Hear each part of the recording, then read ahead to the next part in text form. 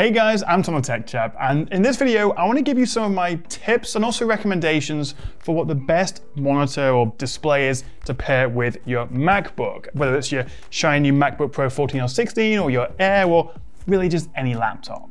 Whether you want something budget friendly or with pro level color accuracy, for gaming maybe, or even just you want the best overall bang for your buck. I have also timestamped this video if you want to jump ahead, and also uh, I'll leave links to my recommended displays in the description below.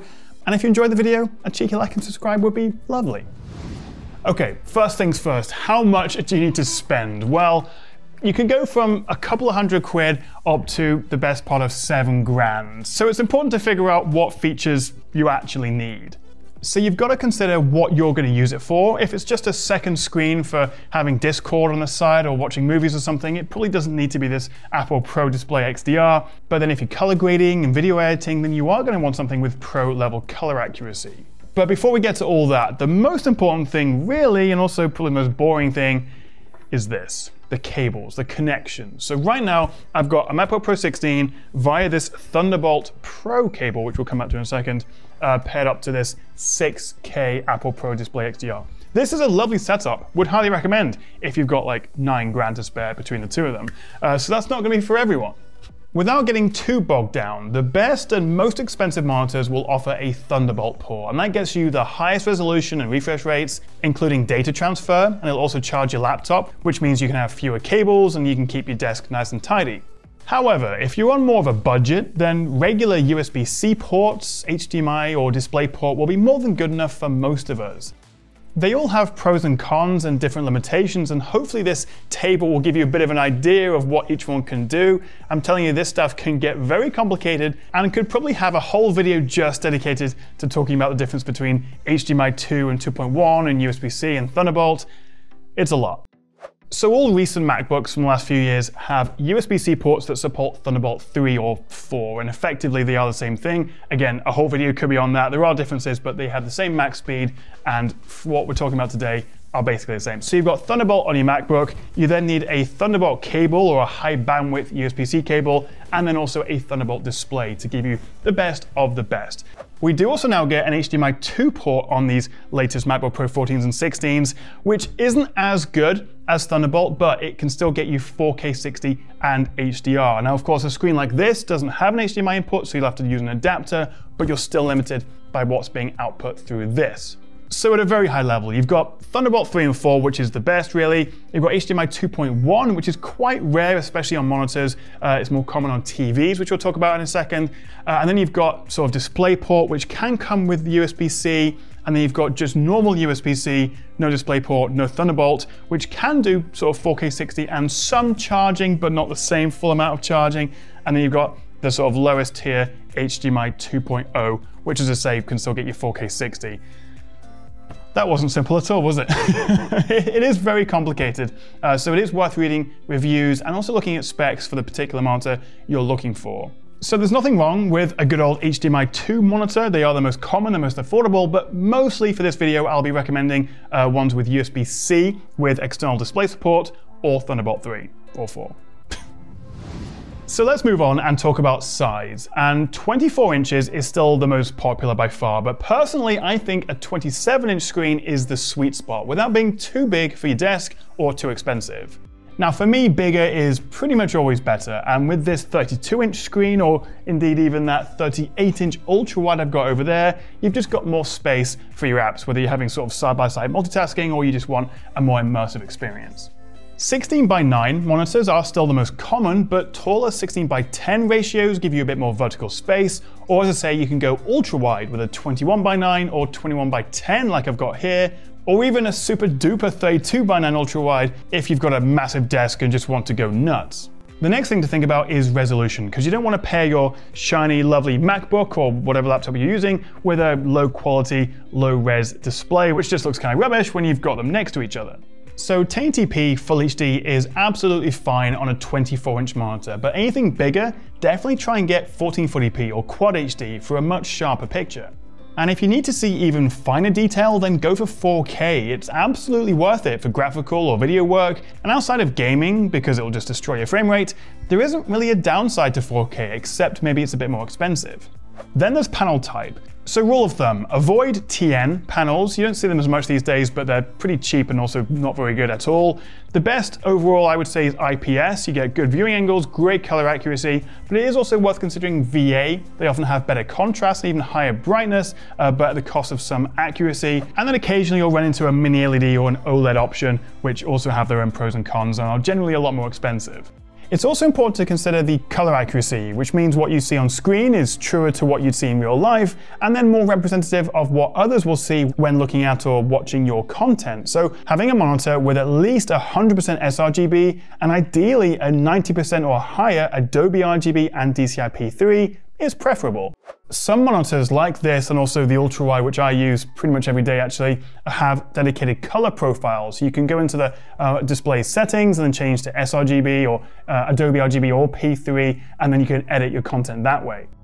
Now this video is very kindly sponsored by the lovely people over at Surfshark VPN because I've been using Surfshark for years and I always have it installed on my laptop, phone, pretty much everything, and actually one account lets you use an unlimited number of devices. And essentially, a VPN hides your IP address, and together with their Clean Web tool, you can browse the web more safely, and it helps to prevent tracking, malware, ads, and other nasty stuff. Plus, you can access region-locked content, so for me, jumping between, say, UK and US Netflix is actually really useful. But the best bit is if you click the link in the description below or use the code TECHCHAP at the checkout, you get a massive 84% off and 4 months extra for free, with a full 30-day money-back guarantee. So why not give Surfshark VPN a try?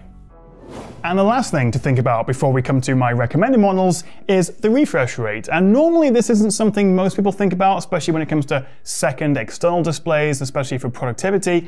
But since Apple introduced the 120Hz ProMotion on these new MacBooks, which we also have on the likes of the Surface Pro 8 and the MSI Creator Z16, more and more Pro laptops are now offering high refresh rates. And so as good as this is, and it is very good, as you would hope for what, six and a half grand top spec. But bear in mind, you're gonna have your nice smooth 120 hertz on here, and then on your second screen, it's gonna feel slower because you're gonna go back down to 60, which is why some monitors, again, like the one I've got over there, are also high refresh, it's 144 hertz. So going between the two screens feels more seamless and it's just a bit nicer to use when it's a lot smoother. So that's worth bearing in mind, but realistically, you're still fine with 60 Hz. Yes, it won't be quite as smooth, especially as we've been now spoiled by this, but the vast majority of productivity and work laptops are 60. It's very rare to get something at high refresh unless it's more gaming oriented. Oh, and also don't forget that if you have a recent iPad, you can actually use the sidecar feature to make it a second screen for your MacBook. It's completely wireless and of course very portable. It's an iPad, so you can bring it with you. Okay, so that is all the background stuff. Let's talk about some of my recommended monitors. There's no room on my desk for this. Uh, this is the Dell UltraSharp U2720Q, and it is probably my favorite all-round monitor right now. It is a couple of years old, hopefully they do an update soon. And it's not exactly a budget option, but in terms of image quality, connectivity, and features, it's a pretty easy recommendation. The 4K resolution looks sharp on the 27-inch IPS panel, it's got great color accuracy, the Display HDR 400 spec is kind of the entry point for HDR, but it's still nice to have. Downsides? Well, there's no Thunderbolt 3 support, uh, it is also 60 Hz, and it doesn't get quite tall enough uh, to sit above my MacBook screen without having to go on a stand. Although the 14 should be fine, I think overall it's a solid buy. My other favorite is this Asus ProArt PA278CV, which is around half the price of the Dell, but it's not far behind in terms of quality. Now, I don't have one in the studio with me right now, but I've tried it before and I think it's great. And it's also a 27-inch IPS, although it drops resolution from 4K to 1440, and color accuracy is a little bit lower, but still impressive, and you can also switch between different calibration profiles. Viewing angles and response times are great, and it even outperforms the Dell with a higher 75Hz refresh rate with Adaptive Sync VRR, so everything feels a bit smoother. There's USB-C connectivity, although again not Thunderbolt, but you do get 65 watt charging, although the Dell did offer 90. There's also no HDR support, and overall contrast is a bit average, but it's still a good option overall. Alternatively, Dell's S2722DC is a similar price and spec and is a more affordable version of the U2720Q. This is a really good choice if you prefer the Dell design language, although I think Asus probably has the edge when it comes to color accuracy. If you're on a tighter budget, then check out the ViewSonic VP2458 for around 200 to 225 pounds, or cheaper still, this Dell S2421NX. I know it's another Dell, but you can get this for about 160 pounds. It is 24 inches, full HD, and you're not getting any of the fancy bells and whistles. But you know, if you just want a second screen to have your uh, Excel spreadsheets or have a bit of YouTube on the side of something, this is a really good affordable option. And it's also worth mentioning, if you are just going to go with a full HD 24-inch display, then you don't have to worry about any of this connectivity stuff, in fact, the first third of this video, because you can get everything you need just through a basic HDMI port, which you can either do straight from the HDMI port on the new MacBooks or via a USB-C adapter. But what about me? What do I actually use? Well, I would consider this, but it is far too expensive. So I use that, the LG 38WN95C. The huge 38 inch size and taller 32 by 10 aspect makes it feel a bit less letterboxy than most ultra wides. Plus we get decent HDR, Thunderbolt 3, surprisingly good speakers, impressive color accuracy, and a 144Hz refresh rate with G-Sync and FreeSync. It is quite expensive at about £1,500 or so, and it can be a little tricky to find stock, but for my money, it is not only the best monitor for pairing with your MacBook, but it's just the best monitor hands down. Although bear in mind, while ultrawides and even super ultrawides offer a lot more horizontal space than immersion, they do take up a lot more desk space, especially curved models. And also videos and some games will have large black bars either side. But as good as that is, it is not professionally color accurate. In fact, very few monitors actually are in terms of the sort of mainstream display market. But this is also worth considering, the Apple Pro Display XDR. As I say, it starts from about four and a half thousand pounds. And if you want to add this nano texture coating, which makes it more matte, and also this stand, you're looking an extra grand a piece. Together, this is about six and a half thousand pounds, which is obviously an eye-watering amount of money, but if you're buying this as an investment for your business, for your work, uh, then maybe it is worth the investment.